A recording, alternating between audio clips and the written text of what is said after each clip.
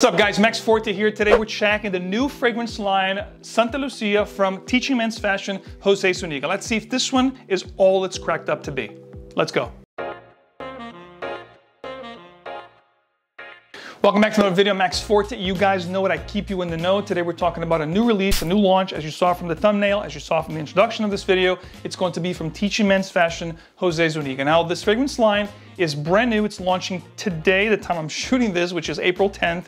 But you're probably not gonna watch this video until a couple days down the line. So chances are it could be potentially sold out because he did release a fragrance last year called Ashore, which sold out within two hours. But that's a different conversation. Today we're talking about the new one, Santa Lucia. We're gonna go over the concept, each one of the fragrances, if they smell like something you guys know already, and if it's worth you guys checking them out. So let's hop right into the fragrances. So let's talk about the concept here. So the concept of this fragrance line, Santa Lucia, is basically three fragrances for each occasion. We have one that's called Everyday, another one that's called To Conquering, and one that's called come closer. So basically, every day is something that you would wear, you know, every day for casual events, you know, running errands, maybe like a signature scent type, you know, type style of a fragrance. To conquering is something that you want to smell like the boss, the CEO. You want to really stand out and make a great statement. And of course, come closer, something for romantic settings, dates, something that you want to be seductive and attractive. Let's break these down, shall we? So basically, the concept is an attempt that Jose Zuniga is claiming that will make your lives easier. All you need really is these three fragrances, which will cover every single occasion and scenario in your life, of course, so that you can smell great and make a great statement about yourself. So as you see, the presentation is actually pretty well made. It's a nice box and each fragrance has its own little spot along with a card that they come with which explains exactly what each fragrance represents, the notes and which occasion you would actually wear them for. By the way, each one of these fragrances is actually a 20% concentration eau de parfum and they were actually blended and made in France. So here's the card that they come with. This is called the Everyday and it has predominant notes of grapefruit, cardamom, and cedar wood. Now, when I spray this particular fragrance, you can see the sprays are actually pretty good. You can't control the projection here of the, um, the atomizer depending on how hard or how you know low you press the sprayers. This one actually smells really good. It reminds me of a blue scent. Obviously, you know grapefruit is a note that really is energizing, really uplifting and refreshing. So the grapefruit is really up front and center here. The cardamom make things a little bit spicy. And the cedar wood is that woody base that's really um, present in the fragrance from beginning to end. This fragrance will develop, and to be honest, all the fragrances have been tried. I've been trying them, you know, running errands or different occasions and settings, nightwear, daywear. Every day is something, as the name would imply, great for everyday wear, signature scent.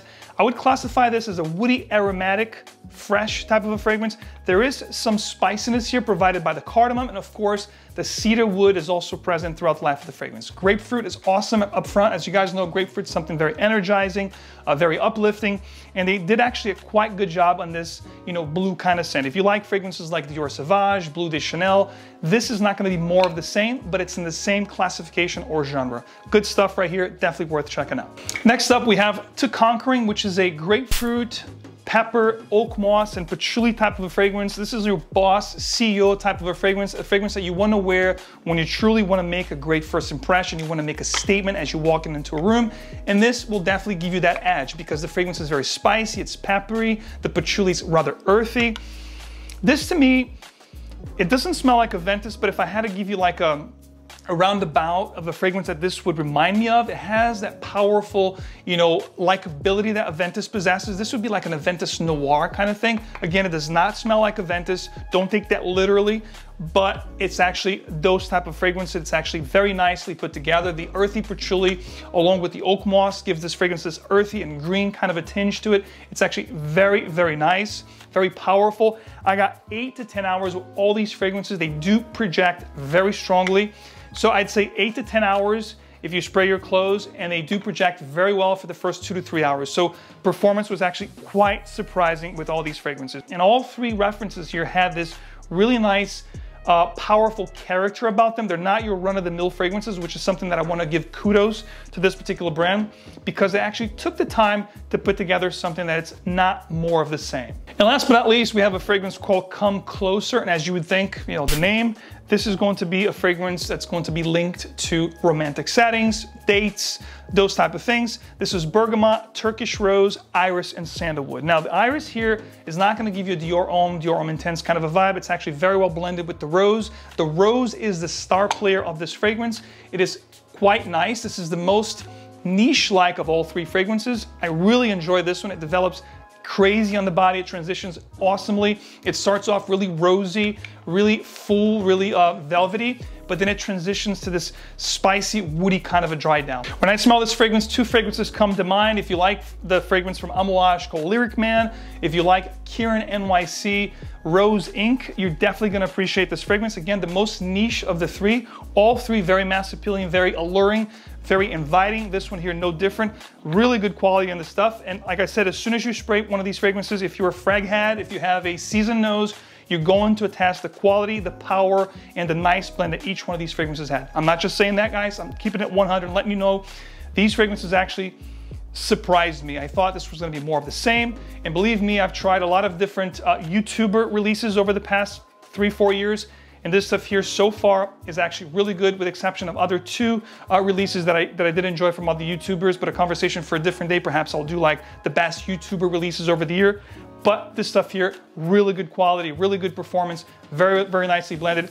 And the thing about these fragrances, you can buy them singularly, you can buy them individually. It's 150 bucks, I believe, per bottle, or you can get the set, the one that I shared with you here today, for $300. If you guys wanna pick this up, there is a code which is MAX, just MAX, simply MAX, is gonna give you 10% off at checkout, whether you get an individual bottle or you go with the set. Thank you so much for being here with me. I hope you guys enjoy this little review here on the whole Santa Lucia brand. I think it's definitely worth checking out. It's something if you're looking for fragrances for different occasions and styles and you don't want to think too much, these will fit all occasions that they're set out to do. I think they did a quite good job. Again, kudos to Teaching Men's Fashion, Jose Zuniga, for putting out an actual really good uh, fragrance collection for frag has or for non-frag has that just want to, you know, an easier way to smell great without having to think too much. We all know the market today is flooded with new releases, so it's nice when you know someone can make your life a little easier. All right, guys, that's all I have for you today on Teaching Men's Fashion Santa Lucia brand, guys. As always, details below.